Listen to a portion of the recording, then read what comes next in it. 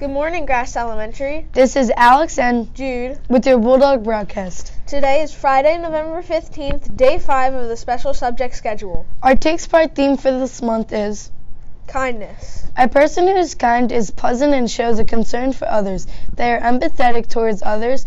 They help those around them whenever there is a need and never hesitate to go out of their way to bring a smile on other people's faces. Let's t- let's take a look at how these students show kindness.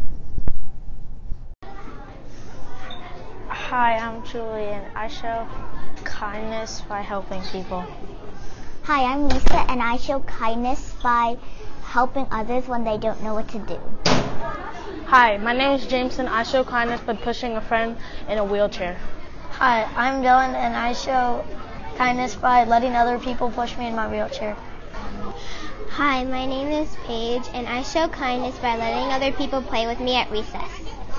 Hi, my name's Ariana, and I show kindness by helping my mom when she had surgery.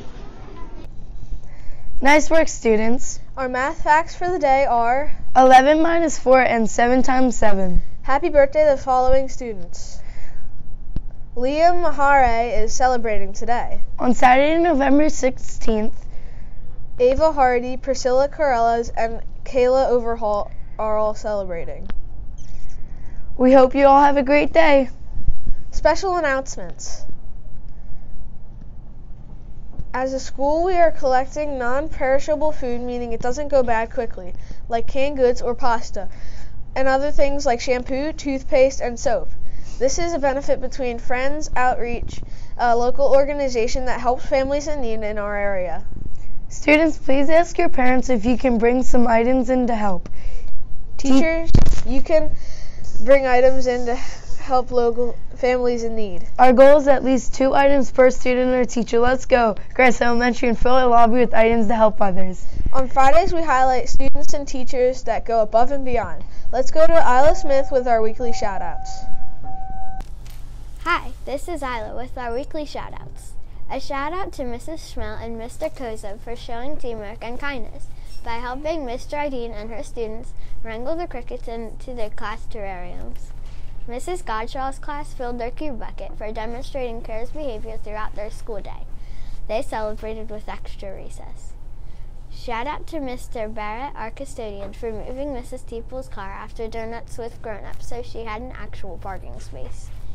A shout out to Jonathan Smakula for cleaning the new library tables. And a shout out to Rayleigh Hobbs for sharpening every pencil in the library. Shout out to Mr. Jam for all the work he's done with Project Adventure with the students and staff. He does an amazing job. Shout out to Ella Krusher and Ben Robinson for taking the time to clean up and put away all the connects in Mr. Jardine's classroom before heading out to lunch. Shout out to Maddie Boyer and Cameron Klontz for being willing to participate in an interview about how our school district uses technology. The, the word is you had an awesome interview. Shout out to Chase Bonzel for helping another student clean up. A shout out to Ma- Thomas Mannion for helping the teacher carry some items to art. A shout out to Rayleigh DeSalvi for offering her water bottle to a thirsty teacher. A shout out to John Wadlinger, reminding a friend to walk in the hallways. Students, remember that you can shout out, send a shout out to anyone, another classmate or a teacher. Just let Miss Mulloy know. Now, great job. Now back to our main studio.